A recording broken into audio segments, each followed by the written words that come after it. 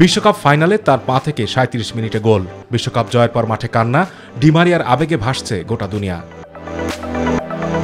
তিনি নিজেও এই বিশ্বকাপ নিয়ে আবেগপ্রবণ। নিজের শরীরে এবার বিশ্বকাপের ট্যাটু আঁকিয়ে নিলেন ডিমারিয়া।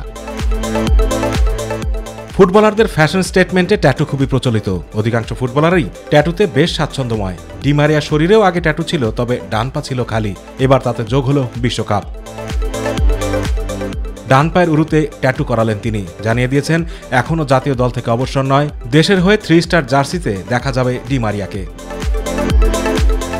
দু হাজার আট সালে আর্জেন্টিনার হয়ে অভিষেকের পর থেকে দলের গুরুত্বপূর্ণ সদস্য হয়ে ওঠেন ডিমারিয়া দেশের হয়ে একশো উনত্রিশটি ম্যাচ খেলেছেন তিনি। বিশ্বকাপের ফাইনালে যেমন তিনি গোল করেছেন, তেমনি দু হাজার একুশ কোপা আমেরিকা ফাইনালেও গোল করেছিলেন।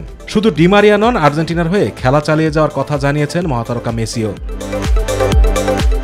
দুই মহাতারকার খেলা চালিয়ে যাওয়ার সিদ্ধান্ত নিঃসন্দেহে হাসি ফোটাবে আর্জেন্টাইন সমর্থকদের মুখে।